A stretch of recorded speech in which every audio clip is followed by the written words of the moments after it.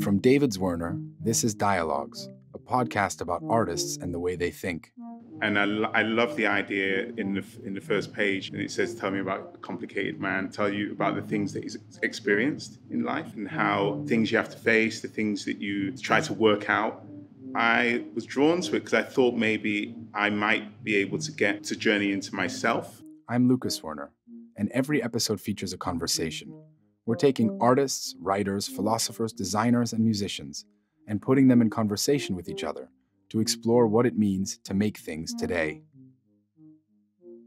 This episode's pairing the artist Chris Ofili and the translator and scholar Emily Wilson. Chris is one of the most influential painters working today. He's won a Turner Prize, and some years ago he moved to Trinidad, and the setting of Trinidad has really informed uh, the way his work has developed and has set the stage for a new body of work based on Homer's Odyssey. Chris wanted to show that body of work uptown in our gallery on 69th Street in New York, but he also wanted to have a live event in the space. When I asked him who he wanted to be in conversation with, he immediately said Emily Wilson. Emily is a scholar, and she's also the first woman to have published an English language translation of the Odyssey. That translation formed the basis for this new body of work of Chris's, so we brought them together at our Uptown Gallery for a live reading and conversation. So I figured that I should start by reading the Calypso episode because it seems as if so many of these images seem in some way or other to be engaged with the encounter between the goddess Calypso and Odysseus. So Zeus says, Dear Hermes, you are my messenger. Go tell the goddess our fixed intention that Odysseus must go back home. He has endured enough. Without a god or human as his guide, he will drift miserably for 20 days upon a makeshift raft, and then arrive at fertile Scheria. The magical Phaeacians will respect him like a god and send him in a ship to his dear homeland. I think the first thing I, I just want, need to ask, want to ask Chris, is how you came across this translation. First page.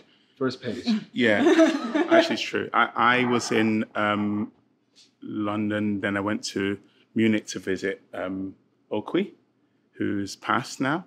And we spent a day with him in his apartment. And um, Okwui is art curator. art curator who's from Nigeria and um, worked for many years in New York. Um, very learned, very interesting, very charming kind of guy, and the type of guy that you can spend a day with. but I'd never spent a day with him because I never felt that I could match his wealth of knowledge. But anyway, we he cooked, and um, we decided to um, delay the flight till later on in the day. And then he said that he um, did I mind if he read, and he took out that book. And I was quite chilled because a few weeks earlier I'd been in New York and I'd been at the bookshop uh, near the gallery, actually 192 Books, which is a nice small bookshop. And they, um, the nice thing about buying books in the bookshop is that you can get a recommendation from a person rather than the computer. And and they said, um, I said I'm looking for something to read for the summer, and they said, what kind of books do you like? And I said I quite like books that are written in the first person. and, Some and- of it is. right? And and they said, well, you should you should read this. It's it's the Odyssey. and I was like, I'm not reading the Odyssey. I'm not reading the Odyssey. That's like you know yeah. Well, very difficult to read and um, quite a challenge. And I remember trying to read it as a um, teenager and just thinking, this is um, the language is so tricky, and that it's almost like you have to learn the language in order to truly um, get into the, the the story and then get into deeper meanings. And anyway, um, I didn't buy the book. and I think I bought some kind of Japanese poetry book or something like that instead. And Okwui um, opened the first page and started reading. And I just thought this is the most um, enchanting first page of a, of a book that I'd ever had read to me. And um, I was completely um, hooked and chilled. And at the end of it, he only read the first page. You know, um, uh, do you mind reading Yeah. the first Yes, page? I- actually, Tell me about a complicated man. Muse, tell me how he wandered and was lost when he had wrecked the holy town of Troy, and where he went and who he met, the pain he suffered on the sea, and how he worked to save his life and bring his men back home. He failed, and for their own mistakes they died. They ate the sun god's cattle, and the god kept them from home. Now, goddess, child of Zeus, tell the old story for our modern times. Find the beginning. And I just thought, oh my god, it's like the whole thing is all is already there. It's already there, yeah. in, in one. Mhm. And um, but I love the idea. It's a, a new translation, and it was almost conjuring up for you to tell it to us. Mhm. Um, and um, so then I bought a copy Thank you. and started reading it, Uh-huh. and um, got hooked. But I also bought the um, audiobook and I had it read to me at the same time as reading it. And it was read by Claire Danes, right? And um, I knew you were English, so it was quite strange hearing. It was great he- hearing it, hearing a female voice, but it was odd um, knowing that it wasn't your voice. yeah. The only other audiobook that I've read before that was um, Barack Obama, Ah, okay. Dreams of My Father, I think, and it's him it's it, right? Yeah. reading Yeah. about his life. Yeah. And so you you know it's Yeah. like talking to somebody on the phone. Yeah. And um, so it was interesting having it read to me at the same time as reading it. hmm And you know, with further reading, I'm not a classic scholar Mm-hmm. by any stretch of the imagination, but on further reading, I know that these are meant to be a poem that's meant to be read out loud Yeah. Uh, to an audience, like somebody's telling you a story. Before we maybe get into the work, maybe you take us through some of the decisions that guided the translation. I mean, it is very specific. You said earlier that you picked a lot of monosyllabic words. Mhm. Even that first line, "Tell us about a tell me about a complicated Mhm. man," is very approachable. Doesn't feel like how you imagine the Odyssey will begin when someone tells you about the Odyssey. Tell me about a complicated man. Sounds like a conversation at a bar or something Mhm. like that. Um, but I know that approachability wasn't really your first concern. Right. I mean, I guess one of my primary concerns was wanting to make, make a very regular metrical translation that would both have, I mean, on, on some level, approachability, if that means simplicity of syntax, because the original has this oral storytelling quality where it's, it's designed to be performed and enjoyed and listened to by audiences of people who aren't literate. I mean, obviously, throughout archaic Greece, people weren't reading Homer, they were listening to Homer. So it has that, the, the syntax is not difficult. It's sort of, and then this happened, and then this happened, and then this happened. I felt that a lot of translations were making it a lot harder than, it, than the original is. Um, I also want, I wanted to have the, a beat of, of iambic pentameter. I chose iambic pentameter. The original is all in dactylic hexameter, which is which was the normal meter for the period of, of archaic Greece. Emily, Um, so I wanted to. You know, Can you just break that down? Because I, Okay, I- yes. okay, so, well, yeah, yeah. I- so I know that you've got, you've got your Othello exhibit at the same time, right? Mm. So iambic pentameter is the meter of Shakespeare. Mm. It's, it's like da dum da dum da dum da dum da dum. So it's the one that we are most used to. The as ones English that we're, we're most used to as English speakers. I mean, Mm. whether it's you know Shakespeare or Robert Frost. I mean, it exists in both a conversational modern form as well as in a Shakespearean or Miltonic form. Mm. Yeah.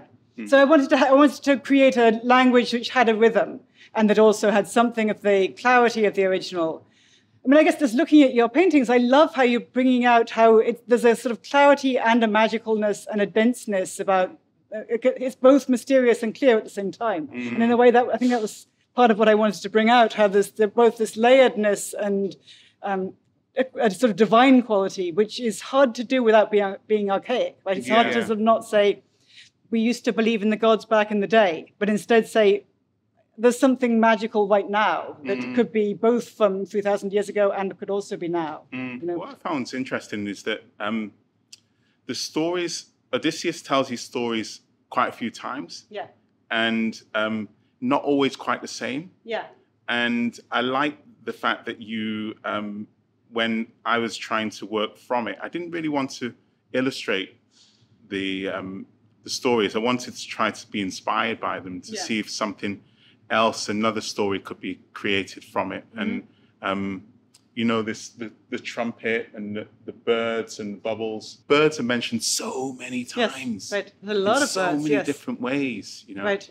Very often when Athena appears, she's first a bird or she goes off like a bird. And the Yeah. divine manifestation is also is often through birds. Yeah. But then yeah. also Calypso's island is full of birds. So much Yeah. the divine and the sky, it's this, these birds that come to visit humans. Yeah, they nest there, but they they hunt outside Yes. of the island. Just Yes. I just think so many um, beautiful images Yeah. that I somehow conjured up um, a reality for me living in an island in Trinidad, but also um, trying to um, create something that wasn't really a place, just a kind of rectangular snippet of a place.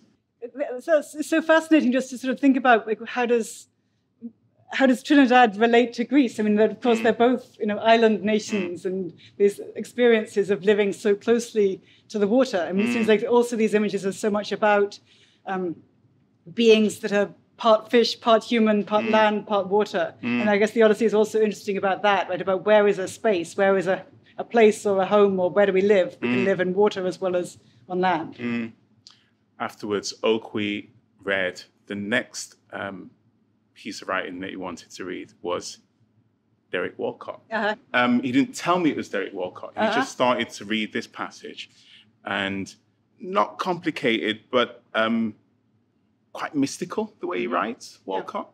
And um, as he was reading, I it was mentioned in places that I knew in Trinidad.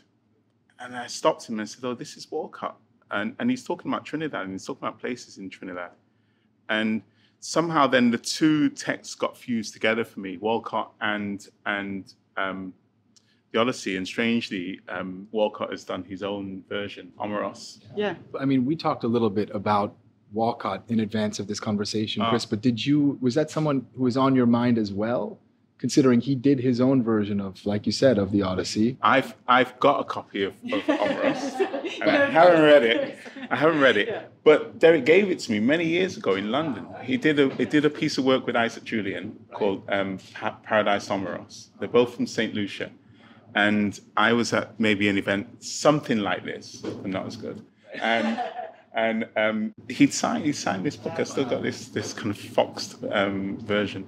Walcott's interesting for me just because he pretty much says you can do what you want. You're not you're not lashed to the text like Odysseus to the mast. You know, you can really you can really move around. You can take the wax out of your ears. Yes. you can you can move around Yes. with it. And I painted as I was reading, and I felt that it released images rather than um, cast images. I, actually wasn't going to tell people that it was the work was based on the Odyssey because I thought that that was going to reduce the reading of it. But then um, the works tu- turned out pretty well, so so I thought I could. How much are you thinking about images when you do the translation? I mean, that's something that obviously weighs heavily on your mind as an Mm. artist as you read releasing images. And I know Derek Walcott thinks imagistically Mhm. as a poet, but were you Yeah. sort of create constructing images or was language really driving it in a different way? Yeah, I mean, I guess language was primary. I mean, I, and of course, I was lashed to the mast in a certain way. I mean, that's what being a translator is. But I, I definitely wanted to make sure that the material world, including the visual world, just felt as alive and as concrete as possible. I mean, I guess the the passages I just read include the very vivid um, visual description of Circe's, of Calypso's island. I guess both visual and auditory um, images. I mean, that there's both the sound of the waves, the sound of storms, the sound of the of people and ships moving through space, and then also what color are things? And Homer's colors are notoriously strange. The way that eh, so many things are shining. I mean, I, I love as an- another shout out to how wonderful these images are, but just I love how they bring out the shininess and just how magical shi- it can be to be in a world of glitter. Gold is mentioned. Gold. is mentioned so, So much much, isn't it? I think I um, misunderstood, but I thought that Penelope's um, uh, the the um, shroud that she's weaving was of gold or had golden threads in it, and I was running with that. I was running. I was running with that, in my mind that you know this all the way through this Yeah. was this um, this uh, woven shroud of gold and being unpicked and but throughout um, Yeah. throughout it's, I mean, the gold, the, it is gold leaf, right? That's Yeah. in these images. Yeah. Uh, in some, it looks like the gold leaf is applied immediately, or it's it's it's Yeah. thought of as going to have gold leaf, and in some, it almost looks like the gold is on top of what was originally a color. Or Yeah. colored scales, and then you add. How did the gold make its way into the images? I mean, aside from maybe coming in through its presence in the Odyssey, I'm woven curious. by Circe actually Woven by yeah. Circe. Yeah, all of it as you were reading, I got the feeling it seemed like you might have an actually a lower opinion of Odysseus than maybe the rest of us do. the the modern idea of the hero as this the Superman person who saves the kids from the burning building that's a, that's a very modern idea. I mean, it's not the idea of a heros in uh, Greek culture. In Greek culture, being semi-divine or somehow more than normal human humans doesn't necessarily mean you're morally better than anyone else. And I, I don't see any reason to think the poem thinks Odysseus is a good person, or that he's fun to be married to, or that he's you know, honest and he has so much integrity. And obviously he doesn't, right? I mean, it, it may be that we don't mind about integrity, and that you know maybe we care more about survival. And he's very good at telling interesting lies and surviving. Yes. I think it's laid out in that first page. He's a complicated man, isn't he? And um, I think it's it's funny reading it and seeing that he's really okay about being a liar. He's okay about being, you know, Right. just you know, sacrificing men in order to survive. He's okay about um, making it seem that he's pissed off at hanging out with Calypso when he might not be. Yeah. You know, and that's what I was trying to explore a little bit Yeah, in, yes, in these yes, works. Like, hang on a minute, hang on a minute. She's really, really nice. Yes. And she's Her island's to make him amazing. immortal, and she's incredibly beautiful. and she Yeah, this incredible it's really place. hard to get there. You know, nobody's going to no interrupt them. disturbance. You know, and he- when they somebody finally arrives, he's like on the beach going, "Oh, I really don't like being here." My feeling is that he um, maybe is doesn't like being still. I think he's I think he's a he's a traveler by nature, and I think he likes adventure and wants to to go on. And I think maybe um, that's hard for him. Really, I think he likes to, the idea of being immortal. That there's risk involved. One thing we talked about, and would love to hear more about it, is of course being the first woman who's translated the Odyssey. Um, people impute to you all sorts of things, intentions, I would imagine, and make assumptions and assume things you're trying to highlight certain things about gender dynamics. Certainly, when I looked at some of these works, there's a sort of empowered femininity, and even and part of my read, or I was reading that into the works, and of course, sort of suggesting that maybe that was coming from this translation by a woman who's empowering female characters. But of course, that needn't be the case, and I'm just curious how you've navigated some of those Right. conversations around that. Right. Um, so I, there, there have been other women Homerists, and there have certainly been other women translators of, of, of the Odyssey as well into other languages. I'm, I'm, as far as I know, the first woman to publish a translation in English, and of course that doesn't mean I'm the first woman to have studied the poem or to have translated the poem. Um, But yours is You the best. thank you. Yeah. So Thank you. okay. Yes, so, So, okay. conversation. yes, I mean, I'm, I'm interested in gender. I'm interested in the representation of you know social class in general in the in the poem, which includes gender, but it doesn't just include gender. Um, I mean, I definitely was.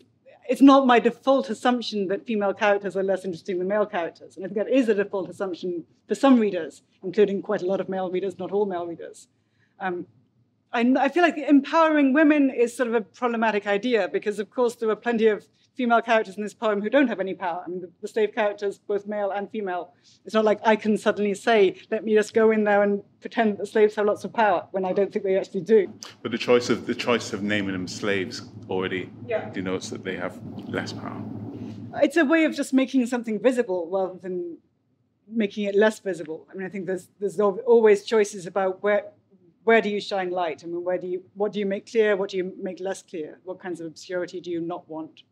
Um, I mean, I don't, I don't feel that I had to work very hard to see that there are a lot of very powerful female characters. I mean, we've been talking about the power of Calypso, the, um, the whole poem, the whole plot is engineered Athena. by Athena. Athena, yeah. Athena is the one Yeah. who really engineers everything that happens in, in the Odyssey. Mm. I mean, I guess we could uh, we could argue about to what extent is she fully identified as female. I mean, she's on some level non-binary. I mean, she keeps she when she manifests as, as human, she usually manifests as a man, though occasionally as a woman.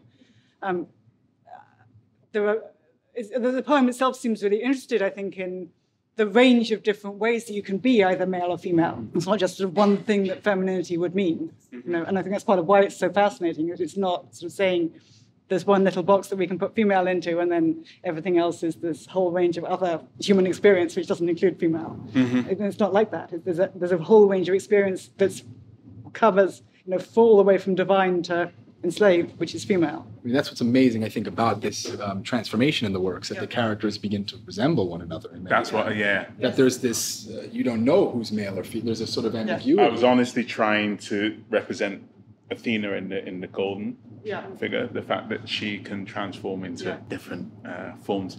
But I did wonder how many different forms. I try, I started trying to count at one point, but stopped.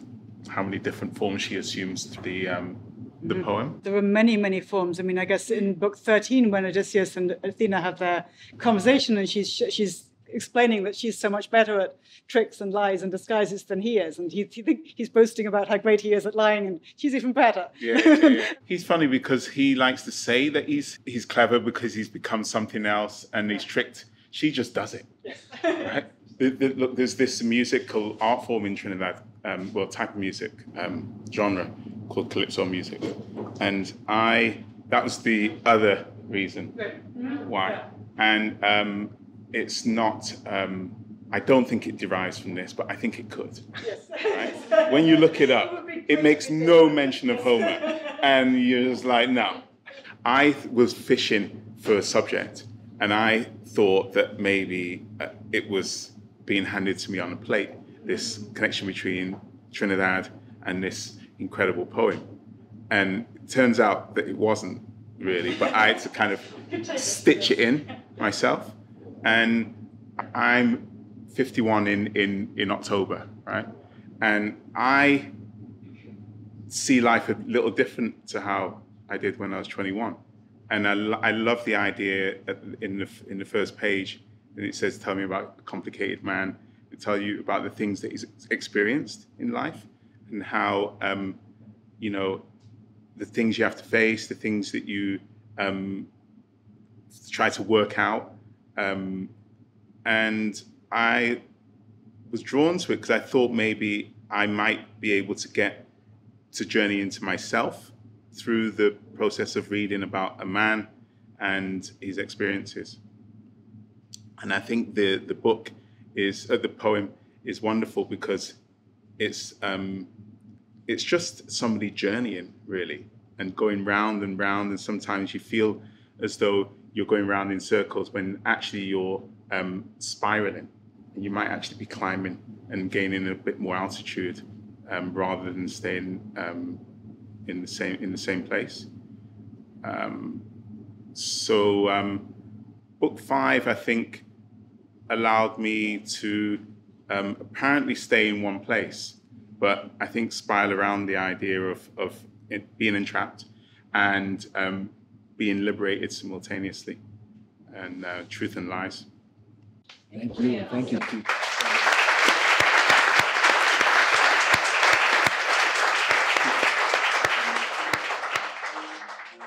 Dialogues is produced by David Zwirner. You can find out more about the artists on this series by going to davidzwirner.com slash dialogues. And if you liked what you heard, please rate and review us on Apple Podcasts or wherever you listen. It really does help other people discover the show. I'm Lucas Zwirner. Thanks so much for listening, and I hope you join us again next time.